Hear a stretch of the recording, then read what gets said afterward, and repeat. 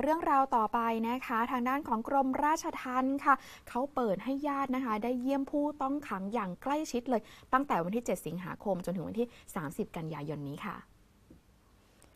ทางด้านของอธิบดีกรมราชทัณฑ์ค่ะได้เปิดเผยว่า กรมราชทัณฑ์ได้มีการจัดกิจกรรมเยี่ยมญาเยี่ยมญาติใกล้ชิดขึ้นอีกครั้งหนึ่งนะคะ ในวันที่ 7 สิงหาคมจนถึงวันที่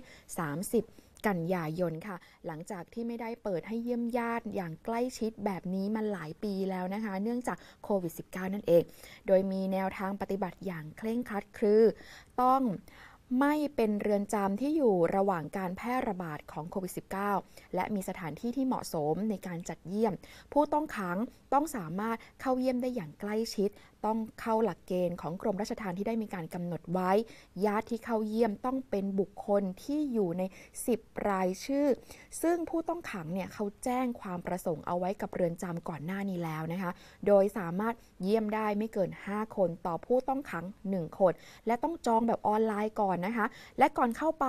ต้องตรวจ ATK ก่อน 24 ชั่วโมงด้วย หากมีอาการต้องสงสัยให้งดการเยี่ยมสำหรับญาติของผู้ต้องขังนะคะที่